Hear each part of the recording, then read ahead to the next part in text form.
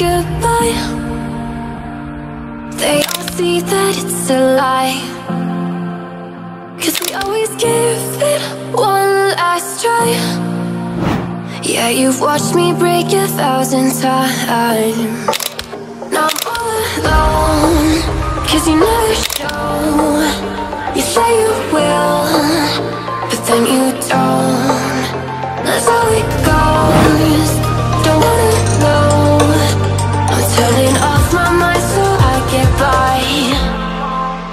so hello guys welcome back to the Uttarakhand series episode six and this blog related to the आज मैं आपको लेके चल रहा हूँ एक फ़ेमस हिल स्टेशन पे, जहाँ हर एक ब्लॉगर एंड हर एक ट्रैवलर का सपना होता है जाने का। जी हाँ मैं बात कर रहा हूँ उत्तराखंड के नैनीताल ज़िले की। एंड इस ब्लॉग में हम लोग अच्छे से एक्सप्लोर करने वाले हैं नैनी लेक को। इसकी वजह से नैनीताल इतना फ़ेमस है और जिसकी वजह से ही नाम पड़ा है नैनीताल। एंड इस ब्लॉग के अंदर कुछ ऐसी इंपॉर्टेंट इन्फॉर्मेशन आपको देने वाला हूँ, जो कि आपने इससे पहले कहीं नहीं सुनी होगी। जैसे कि मैं बात कर रहा हूँ, जो नैनीताल की नैनी लेक है, उसकी गहराई कितनी है? आई थिंक आपने इससे पहले कोई भी यूट्यूब पे वीडियो देखा होगा, जिसमें इस चीज़ को आपको बताया गया होगा। एंड वन मोर थिंग मैं इस ब्लॉग में सिर्फ़ और सिर्फ़ नैनीताल लेक को ही एक्सप्लोर करने वाला हूँ। तो हम लोग वहाँ पे जाएँगे एंजॉय करेंगे, किस तरीके से वोटिंग करते हैं और क्या क्या सीन होते हैं वहाँ पे। वो सारा कुछ कवर करने वाले अपने इस वाले ब्लॉग के अंदर नेक्स्ट जो वीडियो आएगा उत्तराखंड सीरीज़ एपिसोड सेवन उसमें मैं उत्तराखंड के जितने भी फ़ेमस व्यू पॉइंट है, उनको विज़िट करने वाला हूँ। तो इसलिए मैं आपसे यही कहना चाहूँगा, अगर मेरे चैनल को फ़र्स्ट टाइम विज़िट कर रहे हैं तो चैनल को लाइक एंड सब्सक्राइब ज़रूर कर लेना, ताकि आपसे लेटेस्ट वीडियो की नोटिफिकेशन आपसे मिस ना होने पाए।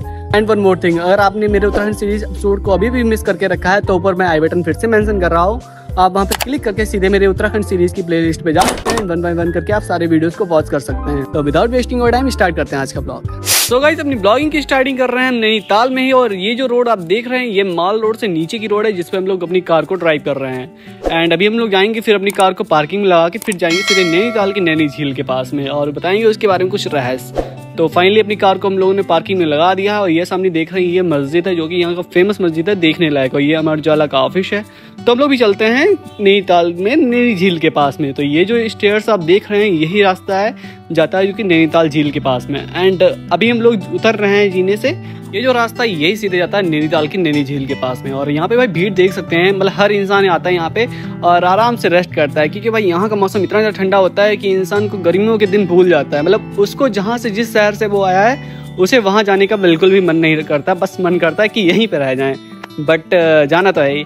इसलिए सारे लोग यहाँ पर बैठ के चिल कर रहे हैं और अपन लोग भी चलते हैं आगे आगे। और फैमिली मेंबर्स भी आ रहे हैं और साथ में मामा चल रहे हैं और देख सकते हैं भाई यहाँ के पेड़ पौधे मतलब इतनी ज़्यादा ठंडा मौसम है कि बस मन कर रहा है कि यहाँ पे बस जाए। एंड अभी हम लोग पहुँच चुके हैं नैनीताल की नैनी झील के पास में और यहाँ पे देख सकते हैं भाई कितनी ज़्यादा भीड़ है यार। और ये खड़ा है आपका आशीष भाई ब्लॉगर एंड भाई चारों तरफ़ देख सकते हैं क्या ही व्यू है।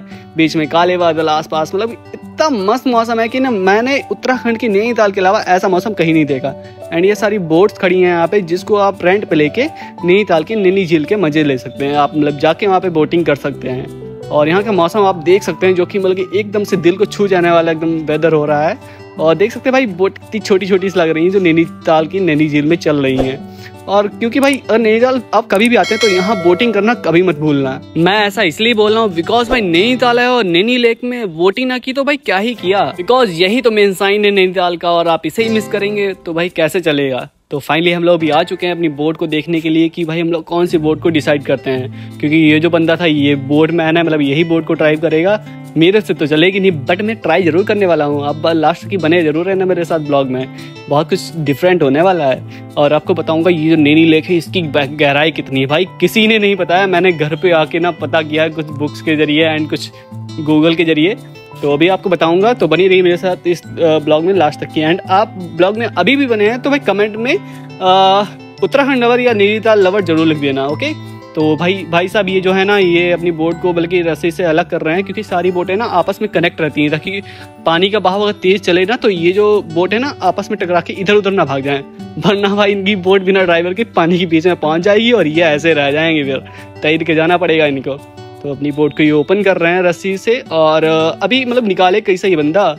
तो भाई सारे लोगों को बैठा तो रहा है ये अच्छे से। लेकिन ये बोट को निकाले कैसा यार? इसकी बोर्ड तो बीचों बीच में है। पता नहीं कैसे निकालता है। चलो देखते हैं लास्ट तक की बने रही है मेरे ब्लॉग के साथ और अपन भी चलता है बैठने के लिए।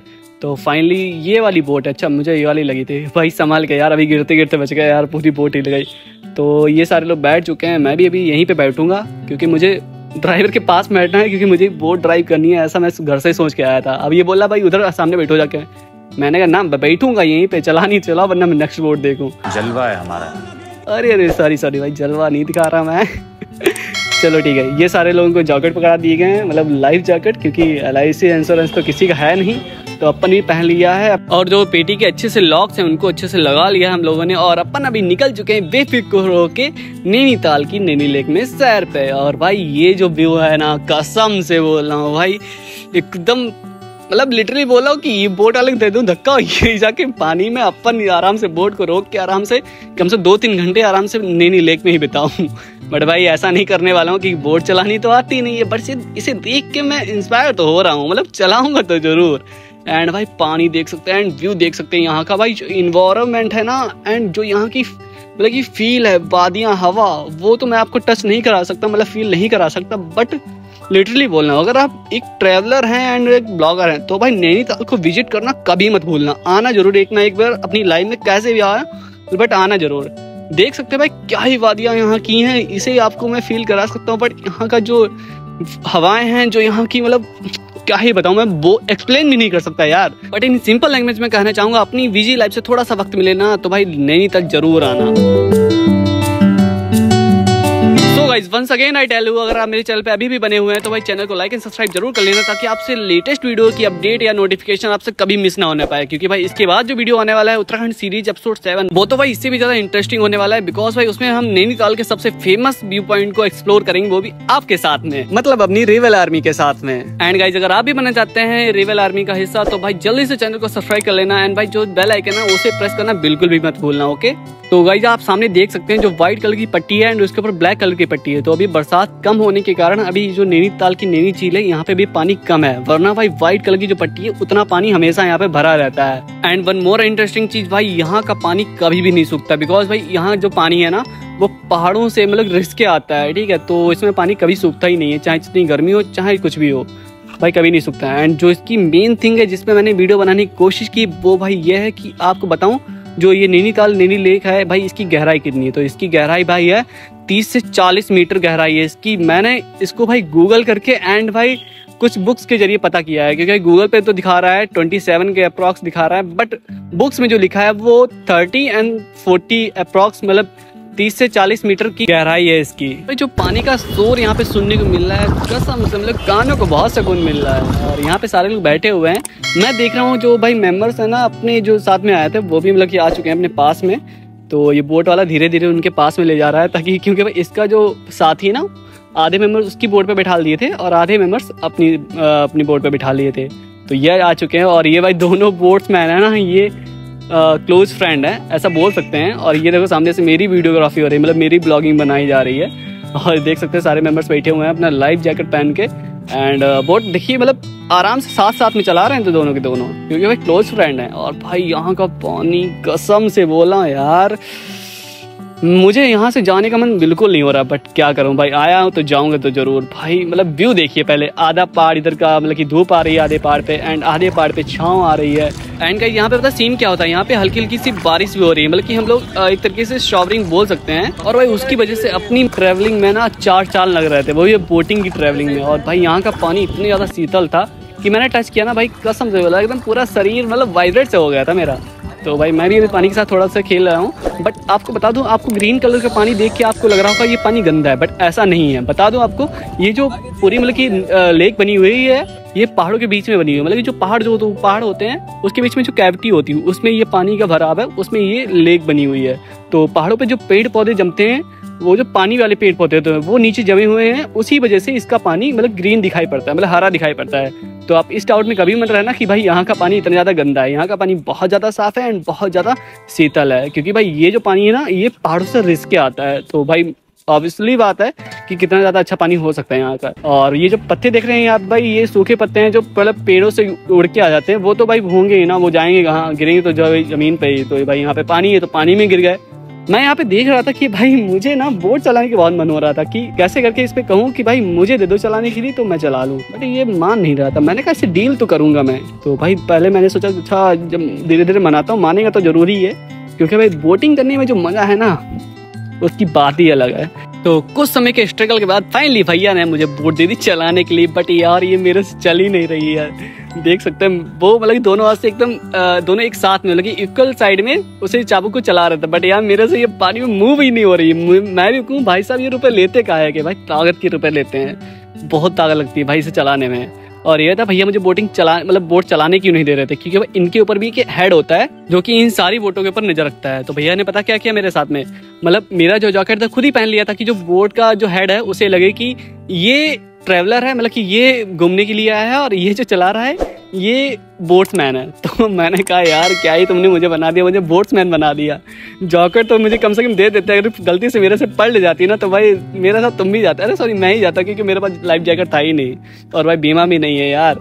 तो फाइनली अपनी बोर्ड फिर से मैंने भैया को दे दिया और ये देखो कितने अच्छे से चला रहे हैं। मैं भी कहूँ, यार, ये रुपए लेते किस बात के हैं? वो इसी बात के तो लेते हैं भाई, अपनी स्किल्स के रुपए लेते हैं। क्या ही मतलब तरीके से चलाते भाई। और एक चीज़ और चीज़, भाई, ताकत बहुत ज़्यादा लगती है यार। एंड गाइस यहाँ पे आप देख सकते हैं जो बोर्ड के जो मतलब की ज्वाइंट है ना, इनमें मतलब अलग तरीके का फेविकुल भरा गया है। मतलब ज्वाइंट्स के अंदर पानी कैसे भी नहीं आ सकता। मतलब पूरी तरीके से सेफ्टी में वर्क होता है यहाँ पे।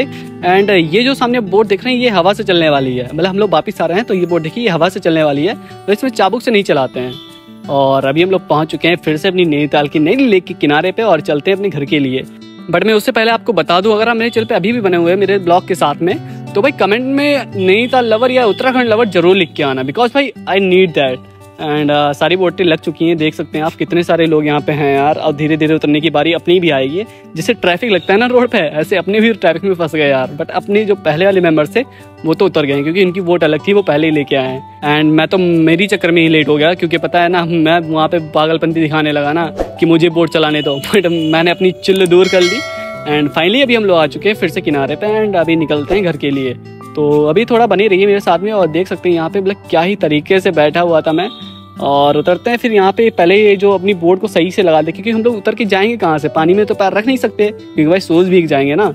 तो अपनी जुल्फों को संवारते हुए, अपने पैर को धीरे धीरे आगे बढ़ाते हुए बोट मैन को बोट्स को अपनी साइड में लगाते हुए तो अपनी ब्लॉग की एंडिंग भी करेंगे थोड़े अच्छे से। एंड भाई कमेंट ज़रूर करके आना भाई, मुझे बहुत ज़्यादा नीड है। एंड चैनल पे अभी भी बने हुए तो चैनल को लाइक सब्सक्राइब ज़रूर कर लेना बिकॉज़ भाई I need too much and one more thing don't forget the press bell icon because भाई, उसके बिना तो आपका सब्सक्राइब बटन है ना, वो अधूरा है, क्योंकि आपको नोटिफिकेशन मिलेगा ही नहीं।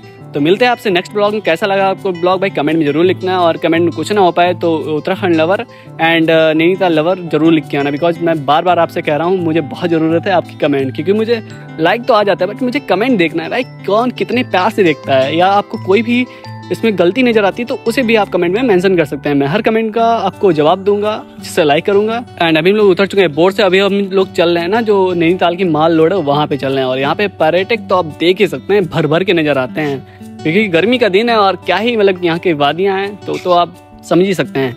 एंड वंस अगेन मिलते हैं आपसे नेक्स्ट ब्लॉग में, उत्तराखंड सीरीज़ एपिसोड सेवन में। तब तक के लिए बाय सी यू अगेन